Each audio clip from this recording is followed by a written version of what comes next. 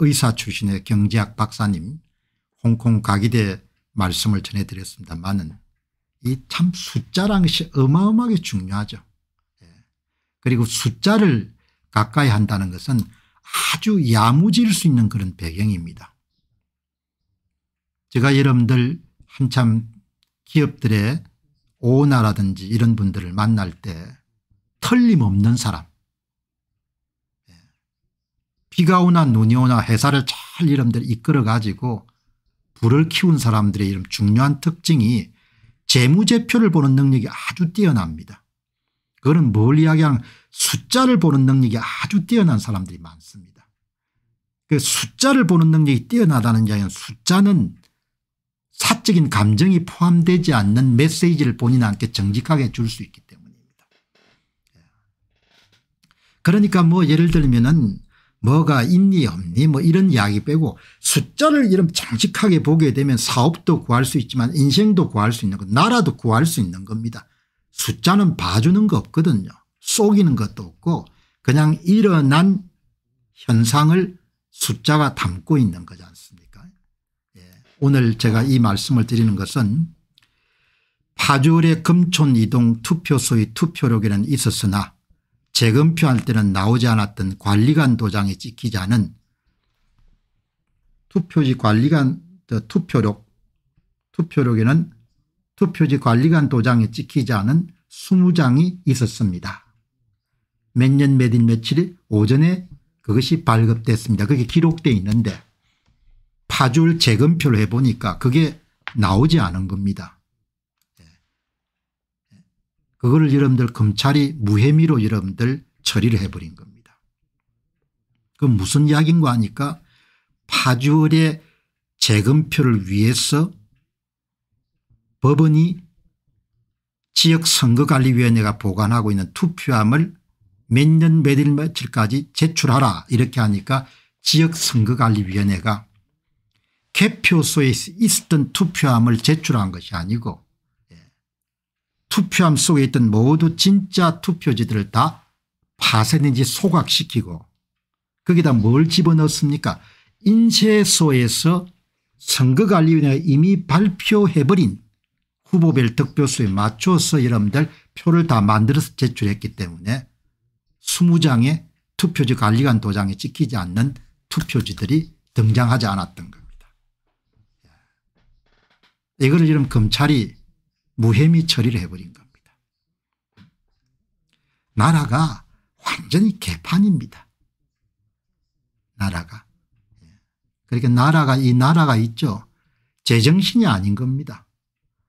세금으로 먹고 사는 사람들 가운데 제 역할을 하는 사람들이 손에 꼽을 정도로 적은 나라가 돼버린 겁니다.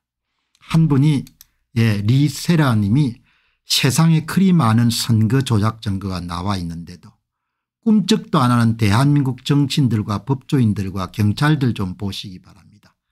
도대체 이게 말이 됩니까 너무 어이가 없어 할 말을 잊었습니다. 정이고 양심이고 애초부터 없었던 인간들이 국민 주머니 돈만 탐내고 있었던 것입니다. 한마디로 대한민국 공직자들은 모두 국민을 덩쳐먹는 사기꾼들 뿐이고 국민 주머니 털어간 도둑놈들 뿐입니다. 좀 과한 표현이지만 예, 모두가 아니겠죠. 모두가 아니리라고 저는 믿지만 이걸 여러분들 검찰이 아 경찰이 무혐의 처리를 해버리고 검찰의 불송치 결정을 한 겁니다. 예. 뭐 별일이 있겠나 이렇게 생각하지만 참 나라의 앞날을 우리가 걱정하지 않을 수가 없는 거죠. 자 오늘은 여러분 이 연, 인천 연수구월에 구청장 선거에서 어떤 일이 일어났는지를 한번 보도록 하겠습니다. 이 사례는 그냥 지방선거에서 일어난 것만이 아니고 대통령 선거 국회의원 선거 보궐선거 등에 모두 다 일어난 사례를 대표 사례를 여러분들에게 한번 말씀을 드리는 겁니다. 자 여러분 보시기 바랍니다. 선거가 끝나게 되면 대한민국의 선거관리위원회는 후보가 받은 득표수를 공개하고 그것에 따라서 당선과 낙선자를 가릅니다. 예. 제야 전문가가 2018년도에 대한민국 선거관리위원회가 발표한 후보별 득표수를 분석해 보게 되면 득표수에서 정확한 규칙을 찾아냅니다. 그 규칙은 자유한국당 후보하고 바른미래당 후보가 받은 사전투표 득표수 100장당 15장을 훔쳐가지고 마이너 처리하고 그것을 더불어민주당 고남석 후보와 함께 더해준 득표수를 감소시키고 증가시킨 득표수 증감 작업이 이루어진 것을 선거관리위원회가 발표한 후보별 득표수에 찾아낸 겁니다. 이게 그 분석 결과입니다. 예.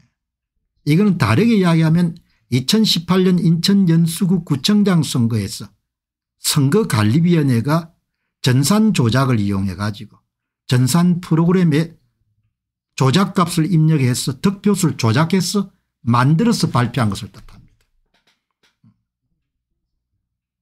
자 그러면 여러분들 이렇게 되면은 그래프를 그려보게 되면 그대로 표시가 납니다. 이거 여러분 한번 보시기 바랍니다. 이 그래프가 2018년 인천 연수구 구청장 선거의 차이값 그래프입니다. 사전투표 득표율 빼기 당일 투표 득표율입니다. 예. 왼쪽이 선관위가 조작한 후보별 득표수의 차이값이고 오른쪽은 이 선관위 후보별 차이값에서 찾아낸 조작값을 이용해 가지고 조작되지 않는 진짜 후보별 득표수를 구해서 차이값을 구한 겁니다. 여러분 이 한번 보시기 바랍니다. 이 이재호 후보하고 서원경 후보한테서 15% 훔쳐가지고 더불당 고남수 후보에 더해준 겁니다. 그 차이값이 여러분들 일단 뭐가 한거 하니까 모두가 더불당은 플러스 자유한국당 모두가 마이너스가 나온 겁니다.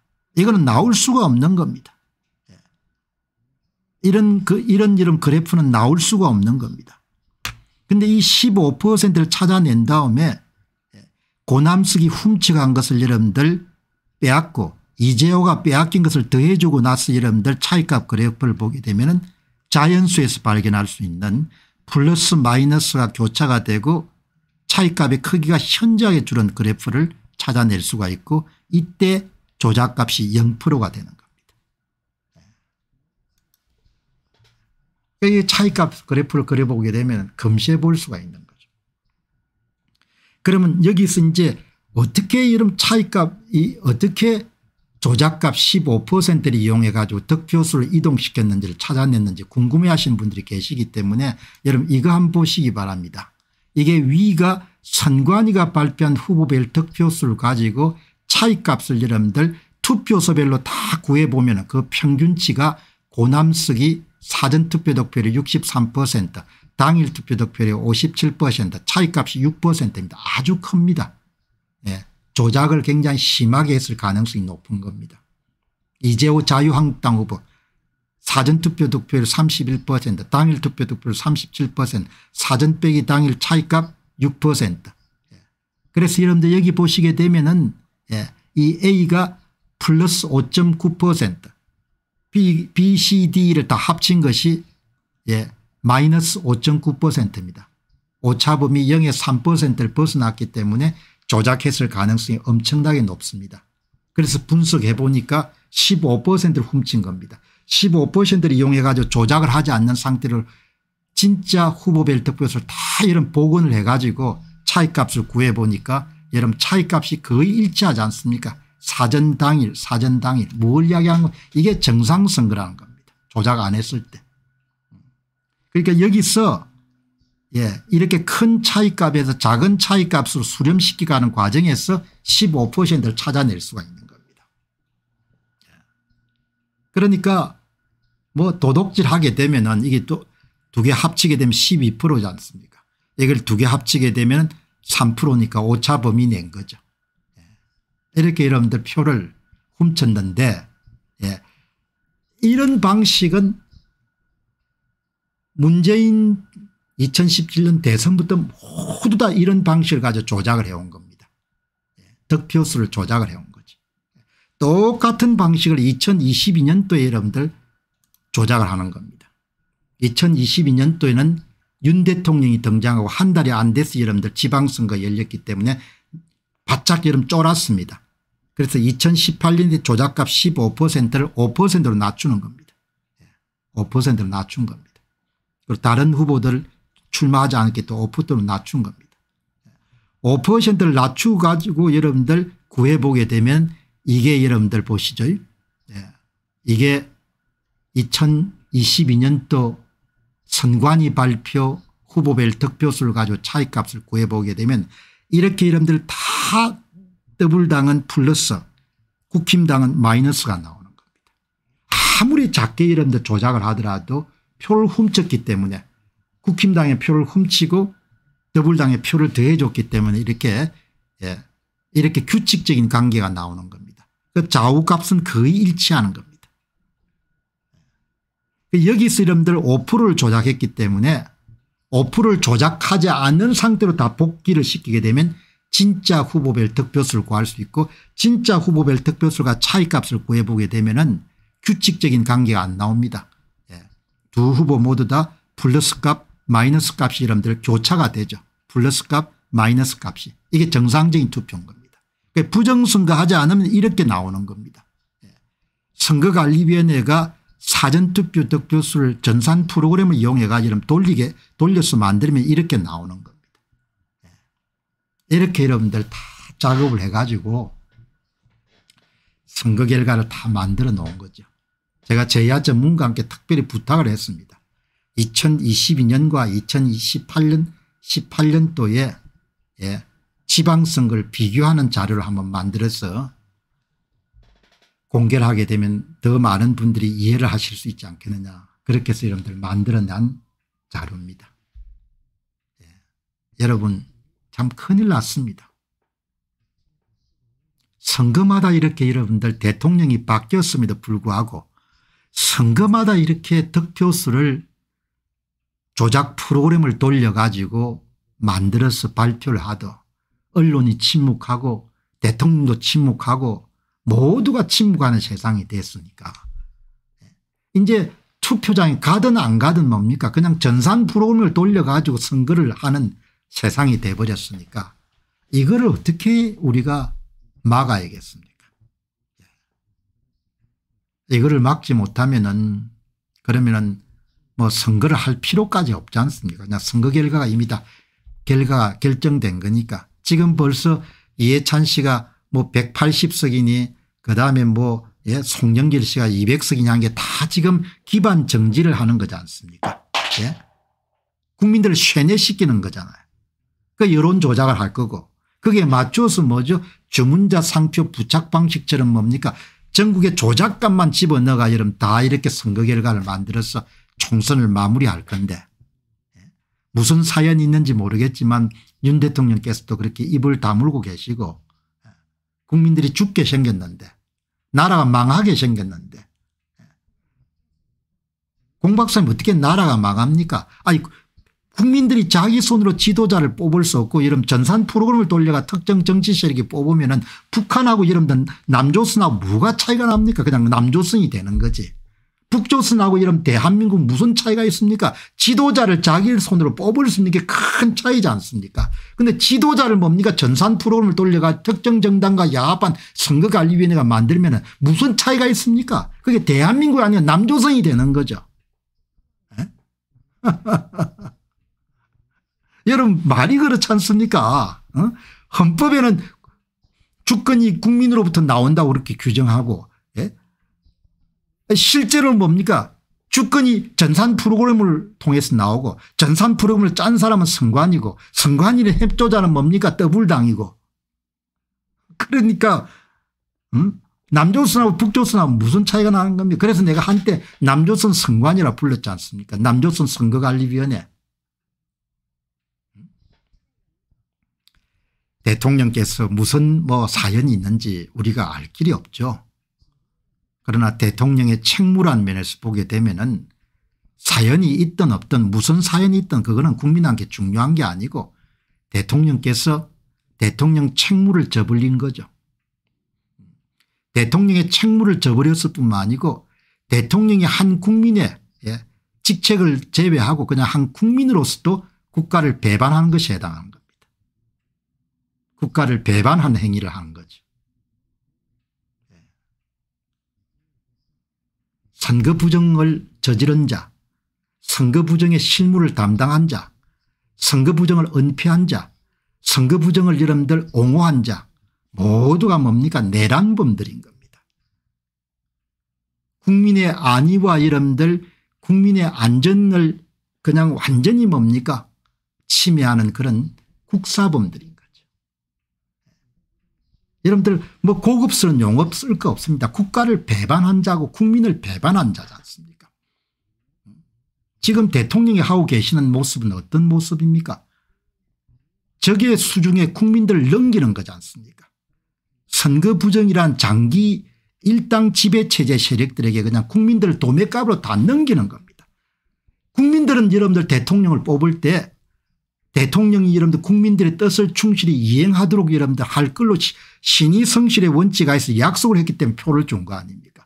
그것을 다 여러분들 저버리고 그냥 본인이 포기를 해버린 거지 않습니까? 난 모르겠다. 이렇게.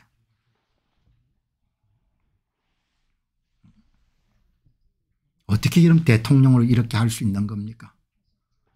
이유야 세상에 이유를 이야기하면 이유를 여러분들 못 때릴 게 어디가 있겠습니까? 그러나 이렇게 해서는 안 되는 거죠. 이거는 국민들의 여러분들 운명에 너무나 치명적인 일격을 가하는 것이고 인간으로서 해서 안 되는 겁니다. 그런 짓들을 지금 나라의 지도층 인사들이 다 하고 있는 겁니다.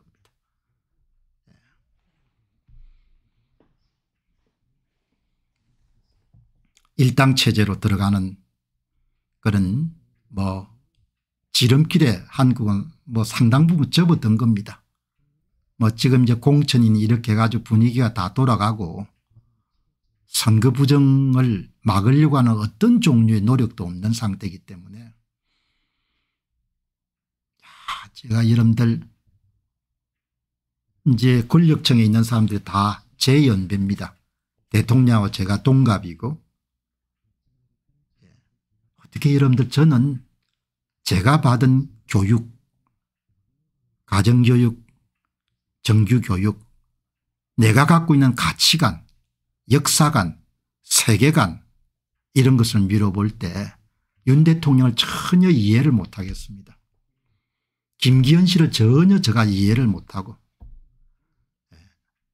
선거 부정을 은폐한 데 기한 조재현 씨나 이런 사람을 전혀 저는 이해를 할 수 없는 겁니다.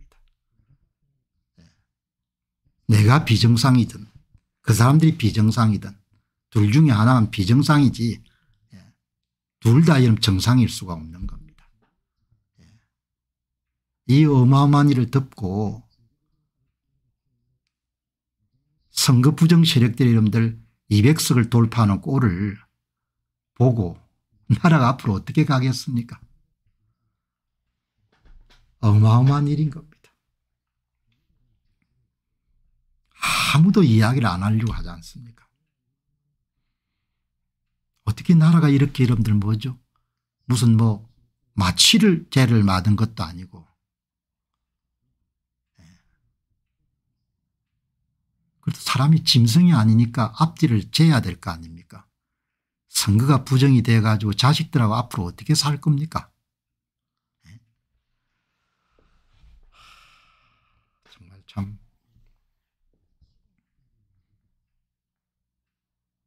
생각해 보면은 참 답답하고 예, 제가 그래서 방송의 맨 마지막에 이 문제를 다룬 겁니다. 뭐 앞에서 하면은 너무 혼란스러우니까.